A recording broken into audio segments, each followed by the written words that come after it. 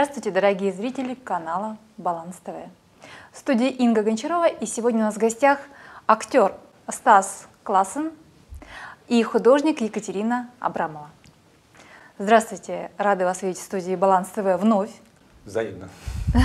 И сегодня а, я бы хотела поговорить с вами о том, как два творческих человека, как э, творчество а, актера и творчество художника могут прекрасно уживаться в одной семье. Ведь, как известно, люди должны взаимодополнять друг друга в чем-то. Да? А в чем вы взаимодополняете друг друга и как ваше искусство, а, как ваше направление искусства не конфликтуют друг с другом? Кто, кто я, будет первый говорить? Я, Мужчина, наверняка, я да, дадим начну. право. Дело в том, что это э, оказывается очень, э, как сказать, плодотворный союз в этом смысле, потому что, вот, допустим, актриса и актер, там, ну, хочешь или не хочешь, быть, да? возникает профессиональная творческая. ревность, которая выливается в персональную. Дело в том, что персональное и профессиональное это очень близко лежит у, у любого художника. Вот, поэтому здесь ревности нет. Я не умею рисовать. Я один рисунок нарисовал в, шесть, в шестом классе. У меня на мастер-классе очень хороший рисунок а, нарисовал. Вот она заставила. Я не умею. И э, я восхищаюсь теми людьми, которые умеют рисовать. Но а по долгу службы, а, поскольку актеры, в принципе, мы, допустим, в театральном училище имени Щукин, который я закончил, мы проходили изобразительное искусство, и я интересовался этим, а, потом ходил в музей, уже видел эти картины вживую в разных городах мира. А, я очень ценю искусство. Дело в том, что оно мне дает не только эмоциональную подпитку, оно мне каким-то образом дает, а, реально иногда помогает найти персонажа, например. Я не знаю как, это оно так вот. Но оно помогает, и я просто обожаю искусство.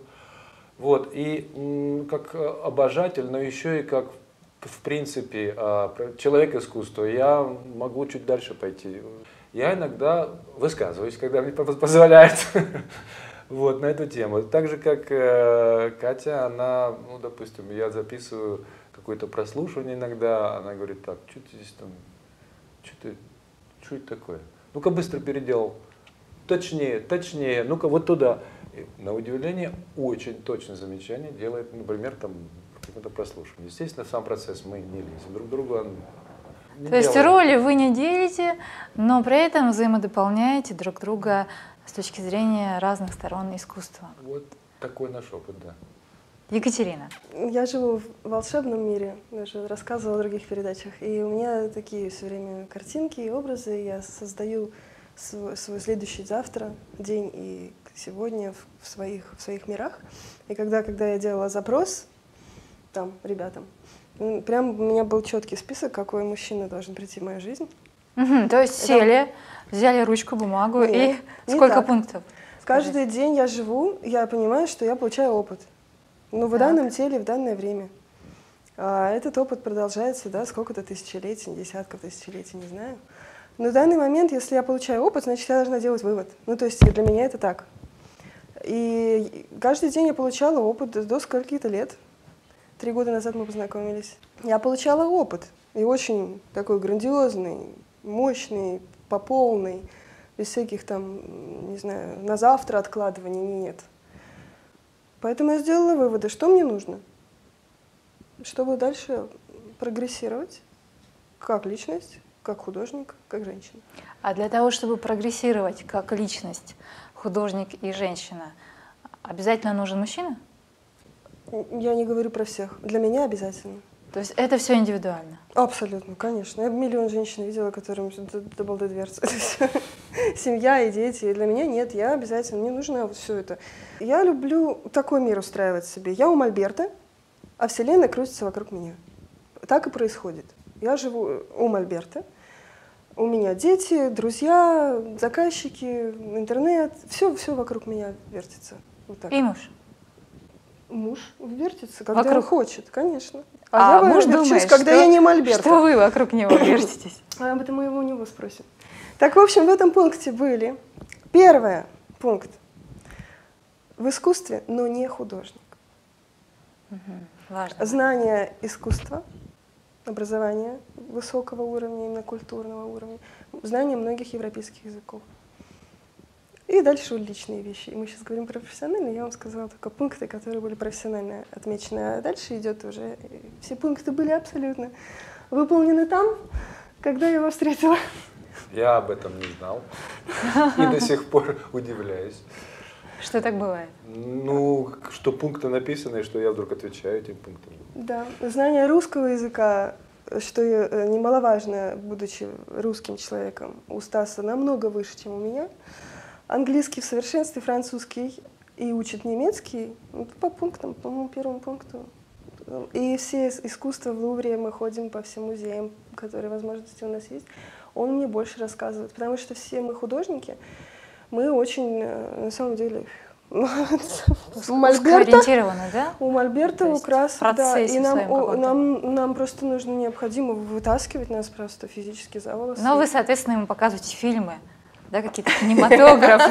Говорите, а вот этот режиссер снял вот такую картину. Нет, я просто знаю, я, и для меня искусство это так, вот у него такая подложка с брематура, он такой, какой же он там ис- использовал, М, так, так, так, какой же там вот спирит, с чем же он там его добавлял, ага, какие краски он использовал, для меня это вот композиция, как он влияет на меня, мгм.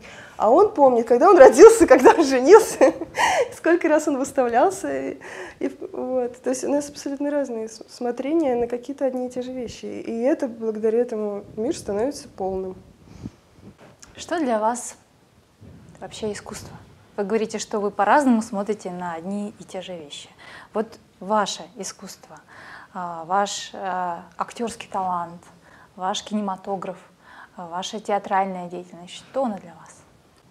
Я не могу не быть актером. Все предрешено Не предрешено. у вас Я- в жизни? Почему? Я пытался что-то там другое делать.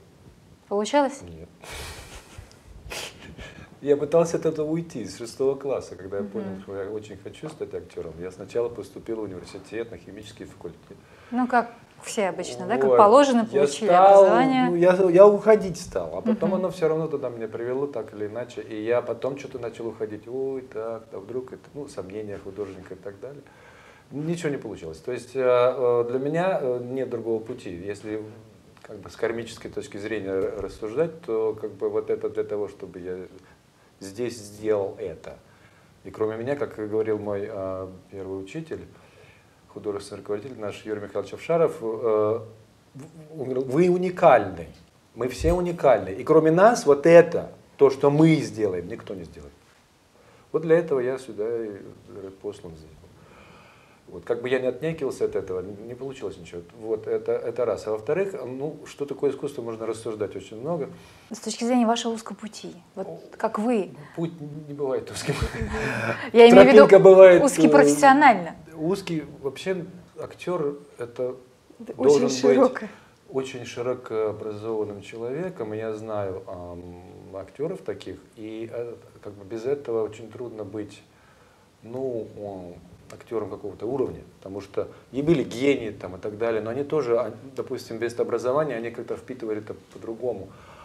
А, но даже те гении, они были очень образованными, если так вот докопаться. Поэтому все сферы пластика – это изобразительное искусство, а музыка, архитектура – это все, а, а, не знаю, ораторское искусство, все, все что угодно, это все вбирает актер, если он э, серьезно подходит к этому делу. Вот. А потом, что происходит в любом искусстве, происходит отбор. Вот мы вобрали в себя, а потом идет отбор. Это, этот элемент будет после этого, и а этот после этого. И тогда рождается персонаж.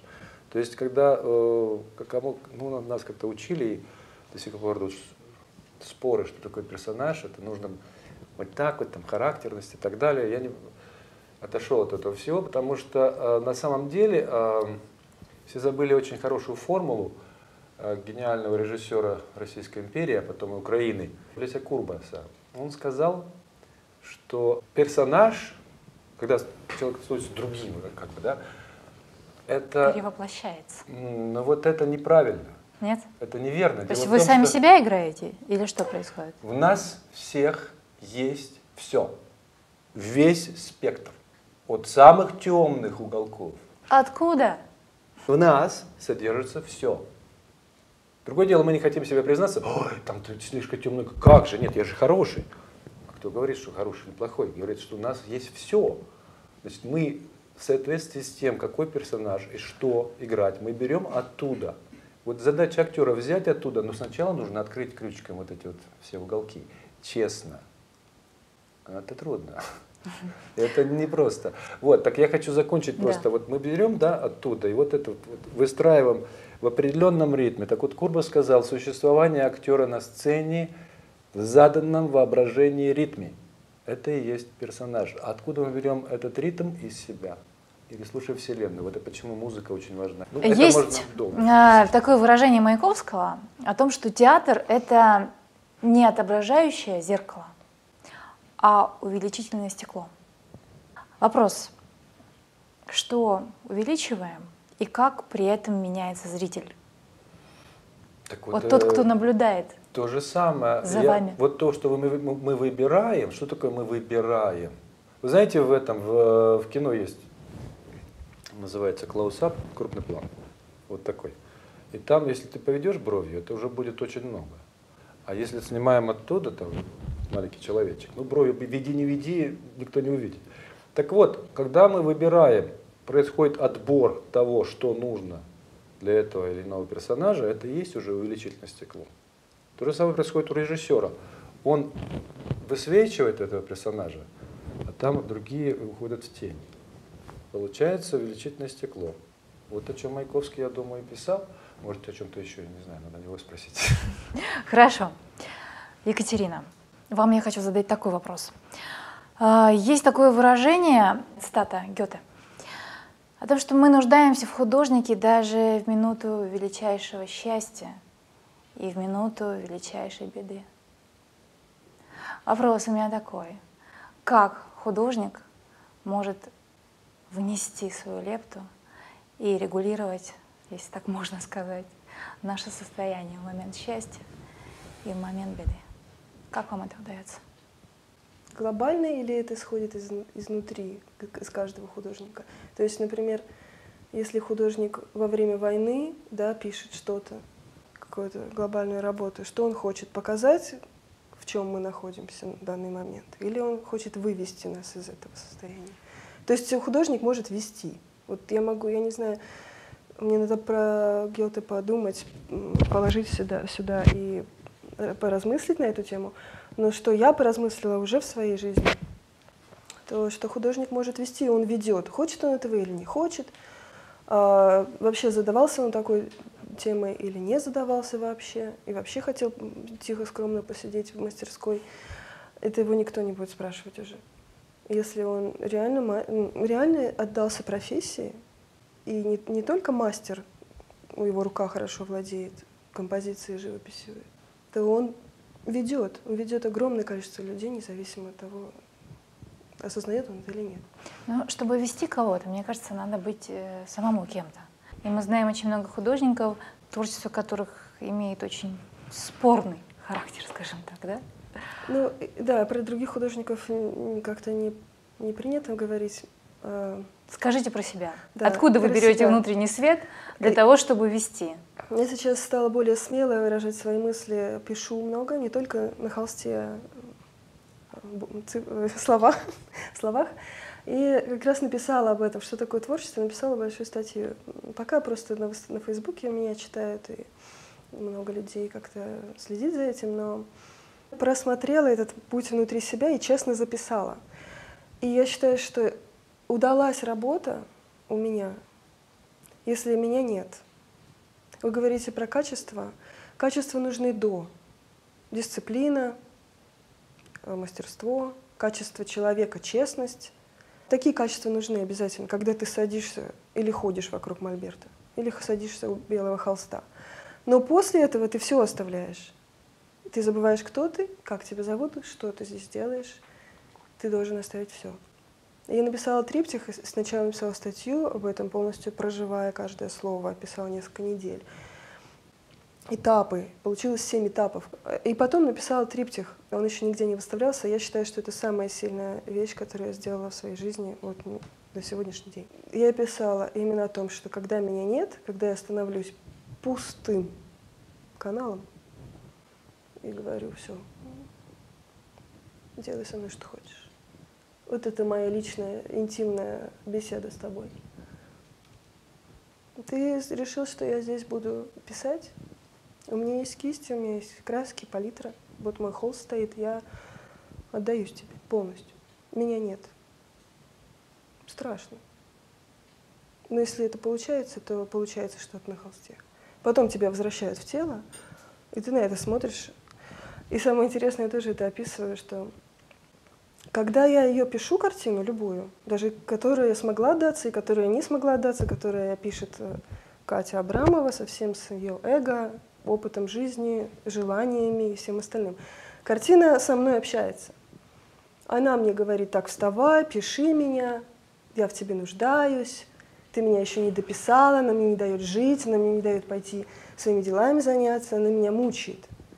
Я, я ее, ну, такой инструмент, обслуживающий персонал, который, она мне говорит, так, я есть хочу, я пить хочу, в конце концов, встала быстро – но когда я ее закончила, на следующий день там я устала, я ушла, пришла, я захожу в студию, я смотрю на нее, такая, ты кто?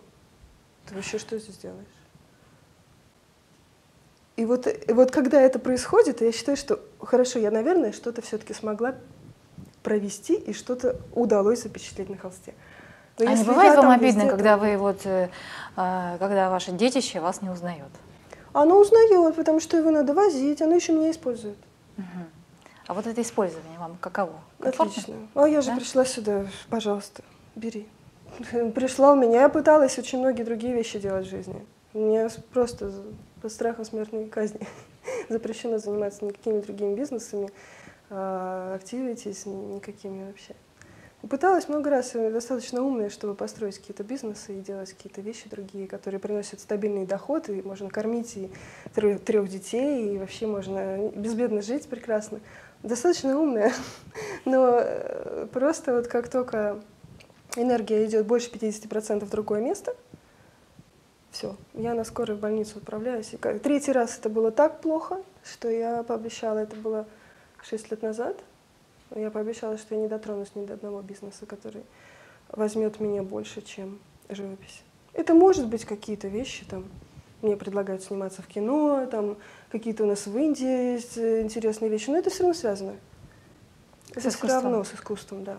И это не будет э, больше 50% этого не будет. А в какой момент вы поняли, что это ваше жизненное предназначение и возможности уйти куда-то там в сторону просто вам не знаю, что Вселенная, э, жизнь, э, Господь вам не предоставляет. Запрещает. Запрещает. Ну, вообще очень рано. 11 лет мне было. Я рассказывала в прошлой передаче, но у меня погиб отец, когда мне было 11 лет. Он был художником. Он как раз э, художник по дереву был, и он делал вот такие вещи, то, что мы привезли из Бали из кости. Скажите, он делал из дерева. Что, что это за произведение искусства? Да, мой отец делал э, тоже несклеенные, брал древесину, выдалбливал из нее внутренности и создавал или шары, или что-то вот так же тонко, только из дерева. Кость более плотная, с ней легче работать. Это мы привезли из Бали, а, кусочек искусства. Это сито, а вот это рама. Вот рама, видите, почему-то поскромнее, хотя у павлинов наоборот, да? Ну, сито и рама вот так. Сито такая красавица, такой скромный рама. А что о нем рассказать? Бали — это вообще отдельная история. Я семь лет мечтала туда попасть. А мне никак все не удавалось или материально, или физически, или временно. То есть по времени не было возможности.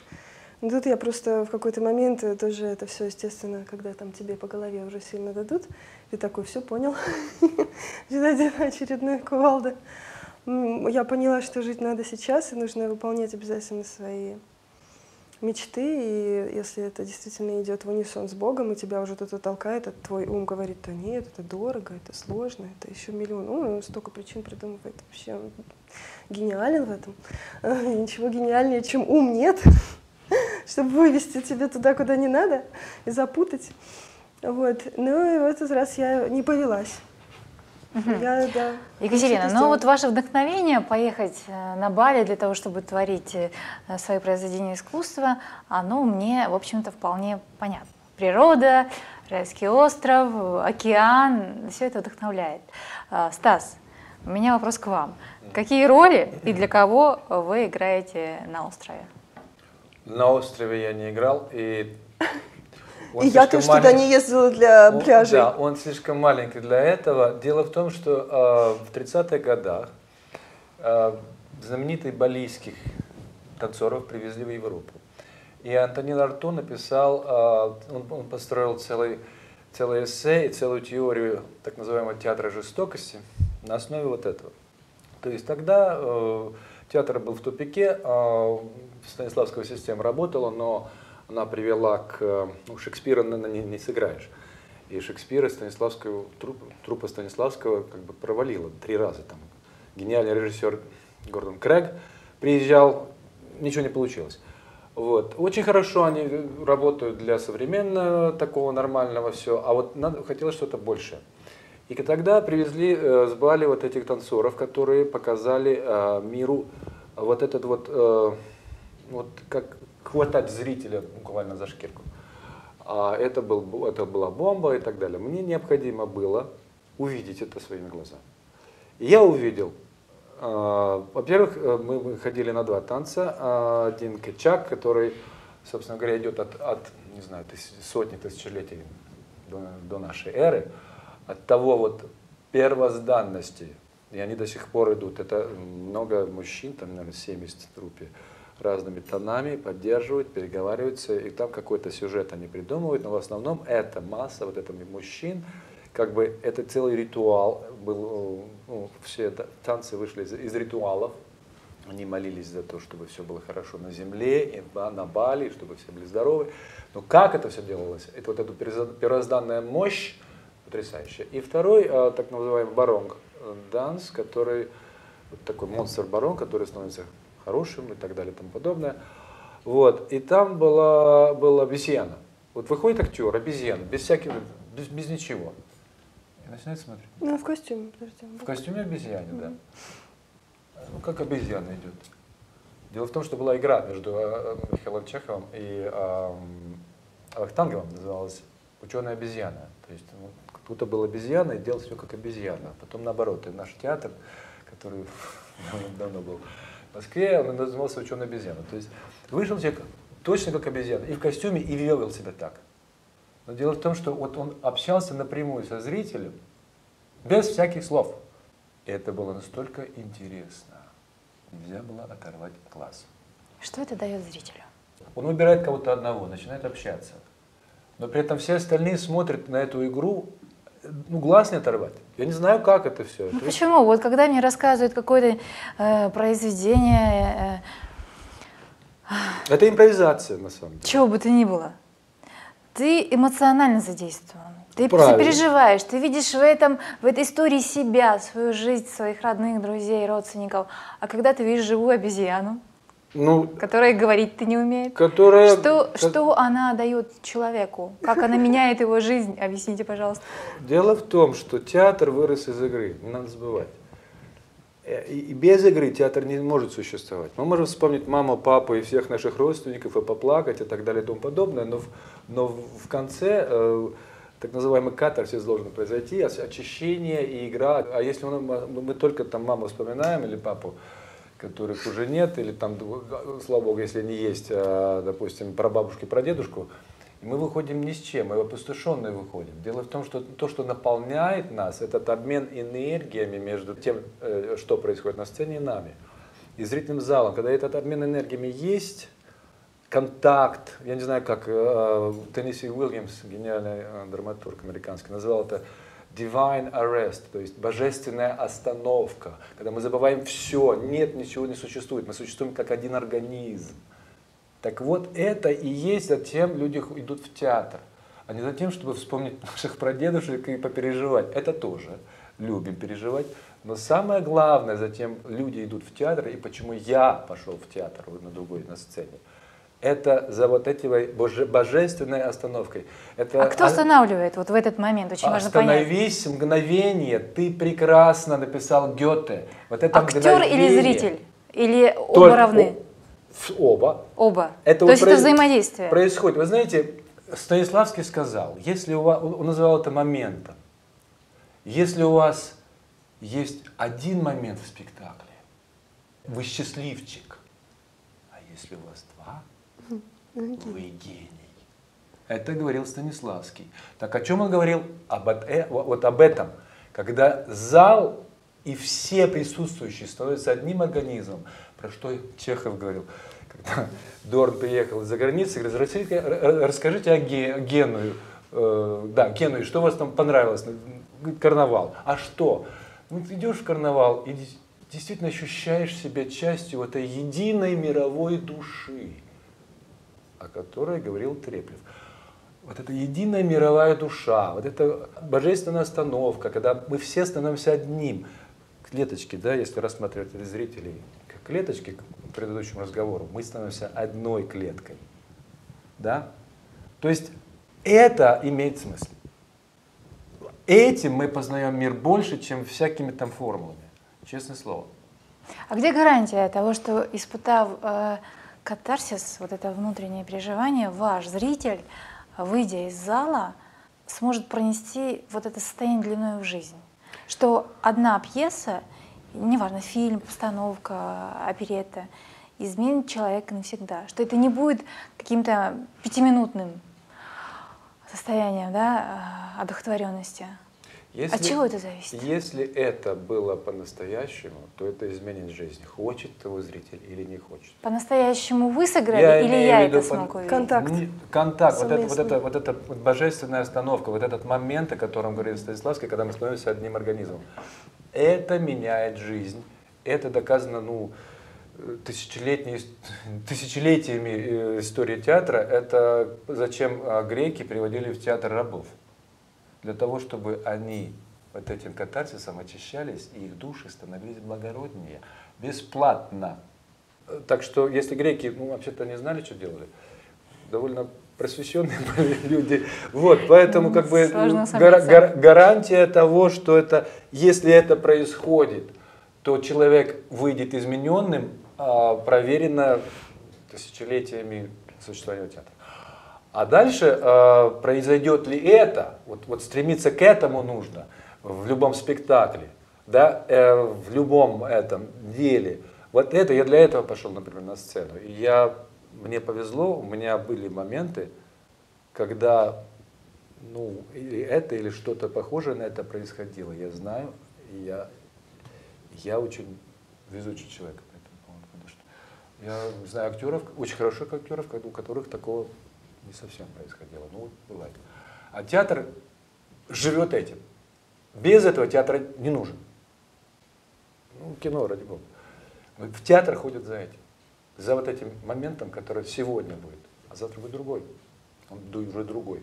Другая остановка.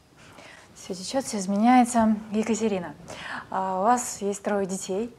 А скажите, пожалуйста, ваши дети кем мечтают быть, когда станут взрослыми? Э, я такая странная мама.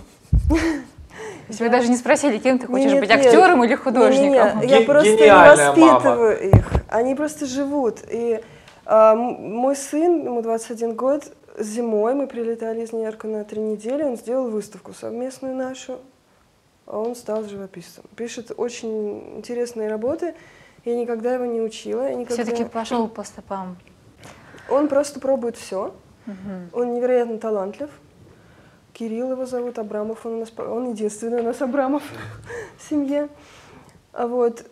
Он сначала пошел в актеры, он закончил актерскую школу, даже э, выступал здесь в молодежном театре, временно они ездили, он все время в главных ролях, всегда во всех театрах играли, в Германии много выступлений у него было. Но потом у него все это прошло, он такой мне кинул диплом, сказал, все, хватит и у него там спорт. Потом он из спорта еще куда-то. А сейчас у него живопись. Ну. Блин, получается у него очень интересные работы, очень творческие, очень сильные. Я подсказываю что-то, если он спрашивает. А вообще у меня, как может быть, меня кто-то осудит, или мне все равно на самом деле, Дети пришли, потому что я должна была им помочь прийти. Я живу так, как я живу. Они мои ближайшие друзья. Даете свободу выбора? Ой, абсолютно. Я могу при них плакать, я могу быть э, абсолютно растоптанная чем-то внутренне. Они меня будут утешать, они станут выше меня и больше меня. Я стану маленькая, мы меняемся ролями. Они бывают чаще всего старше меня. Я вообще не понимаю вот этого, воспитывать надо детей. Простите, я не умею воспитывать детей. Вот у меня их 21 год, 11 будет и 9. Они абсолютно самостоятельные люди. А девушка маленькая заявила, что Стас это вообще ее папа, что она берет его фамилию Классен, и она актриса. Просто заявила все четко и все. И вообще, ну, а, а кто будет спорить? Да. Хорошо, когда человек знает четко, чего он хочет. Средний, средний пока думает зоологом пока. Хорошо, что э, в предметах искусства между вами и вашими детьми нет таких споров. Вы даете не только себе, а мне кажется, что самое главное давать себе творческую свободу и реализацию. Тогда дети просто будут смотреть на вас и следовать тому примеру, который вы несете.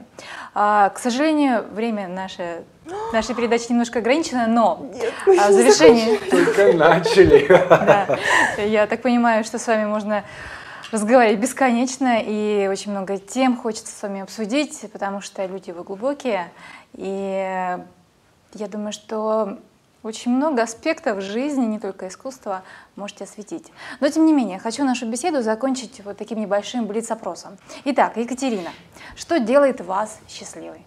Искусство, любовь. Отлично. Станислав, если бы вы не стали актером, то кем бы вы были? Актером.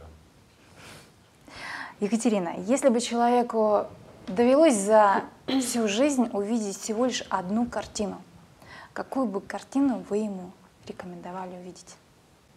Я бы порекомендовала просто посмотреть Гою всего. Стас, представь сегодня перед Богом, какую роль вы для него сыграете?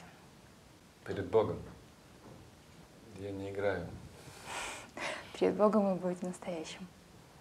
А я и на сцене И не на играю. сцене не, не играешь. Дело в да? том, что я хочу отметить еще одну штуку. Одна моя очень хорошая американская актриса, подруга, ее спросили, вы же актеры, вы же все притворяетесь. Она говорит, нет, вы, а вы же все, ну, все же неправда это на сцене. Она говорит, нет, вы не понимаете. Задача актера это найти а, правду в себе. И только тогда можно выходить на сцену. Так. Это был Стас Классен и Екатерина Абрамова. Спасибо вам за такую вдохновляющую беседу. Спасибо. Спасибо большое. Да, хотелось бы больше. Приятно.